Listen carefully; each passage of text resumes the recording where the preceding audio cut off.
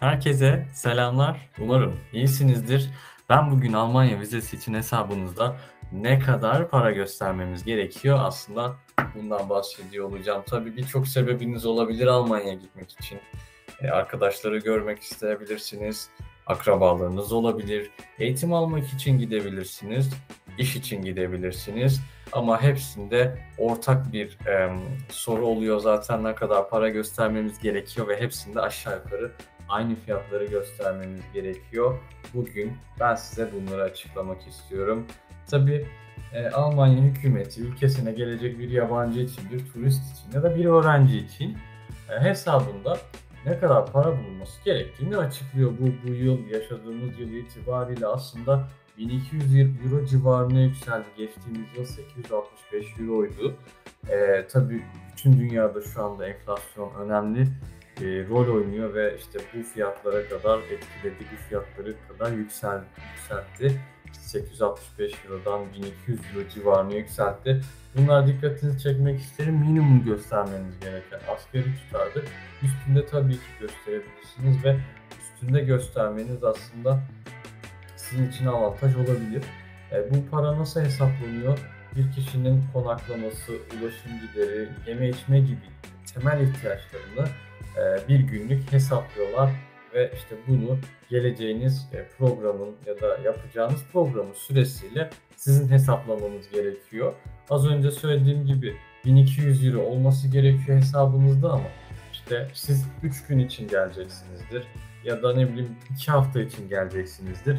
Aylık 1200 euroyu işte güne bölüp kaç gün geliyorsanız oradan hesaplamanız gerekiyor ya da dersiniz ki ben işte e, bir ay değil de iki ay, üç ay gelmem gerekiyor. Bu tutarı hemen 2 ile 3 ile ya da geleceğiniz süre kadar çarpmanız gerekiyor. İki tip vize var Almanya'da süre olarak. 90 güne kadar olan e, vizeler turist vizeleri oluyor. Yani Schengen vizesi statüsünde oluyor. O zaman e, bu parayı yani aylık 1200 euroyu hesabımızda gösterebiliyoruz. Ama 90 günden uzun süreli eğer Almanya'ya geleceksek o zaman bloke dedikleri hesap açmamız gerekiyor. Bloke hesap şu. Siz Almanya'da bir bankada hesap açtırıyorsunuz. Banka hesabı sizin adınıza oluyor ve e, geleceğiniz süre kadar o bankaya para gönderiyorsunuz. Mesela 6 ay geliyorsanız bu 1200 6 ile çarpıyorsunuz 7200 euro Almanya'daki banka hesabınıza gönderiyorsunuz ve bu bankanın hesabınızın özelliği blokeli olması. Yani o paraya e, dokunamıyorsunuz. O banka size vize aldıktan sonra her ay geçim e, geçim masrafı kadar para gönderiyor. Yani siz minimumdan hesapladıysanız 1200 euro o banka siz Almanya'ya gittikten sonra size her ay işte seçtiğiniz gün 1200 euro gönderiyor.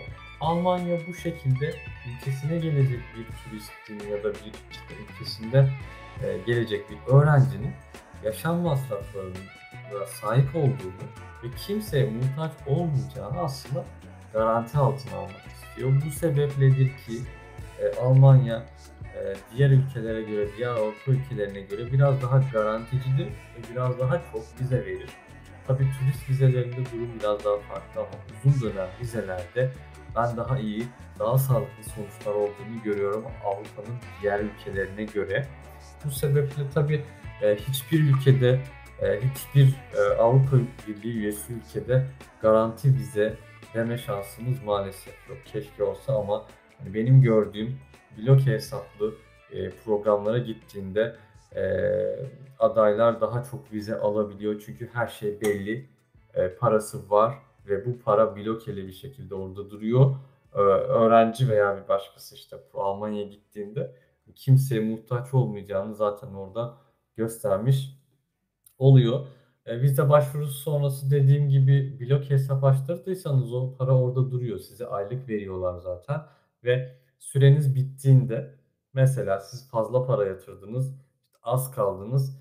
Almanya'dan çıkarken dönüş biletinizi alıp ülkeye geliyorsunuz ülkenize. İşte bankanıza diyorsunuz ki ben böyle böyle bir durum yaptım. Erken döndüm paramı almak istiyorum. Onlar da incelemelerini yaptıktan sonra paranı size gönderiyorlar. Ama 90 güne kadar olan vizelerde böyle bir şey olmadığı için Siz Türkiye'deki hesabınıza para yüklüyorsunuz ve vize başvurusundan sonra o parayı kullanabiliyorsunuz. Tavsiyem vizenin sonuçlanana kadar o hesabınızda o paranın bulunması. Çünkü bazen işte tekrar banka belgenizi güncellemenizi istiyorlar. O zaman da o para orada olması sıkıntı yaratabilir.